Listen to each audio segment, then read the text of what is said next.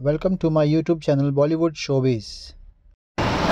Bigg Boss 17 contestant Naved Sole Naved Sole बहुत नाराज़ है बिग बॉस से क्योंकि उनका एविक्शन बहुत ही रॉन्ग हुआ है उनका कहना यह है कि तहलका डिज़र्व नहीं करता है उन्होंने तहलका के बारे में कुछ ऐसी बातें बताई जो घर के अंदर हो रही है Firstly, we want to know how was your journey? Oh, my journey has been incredible um, in Bigg Boss. I've learned so much about myself. I'm learning Hindi and the culture, the food. I really, really loved it. It's been a really incredible journey for me. Okay, so uh, the uh, you know if we want to know who ever has nominated you yes. that was from Dimag Wala Room, right? Yes. So do you think they are the perfect uh, people for Dimag? Absolutely. No, बहुत गलत, not at all.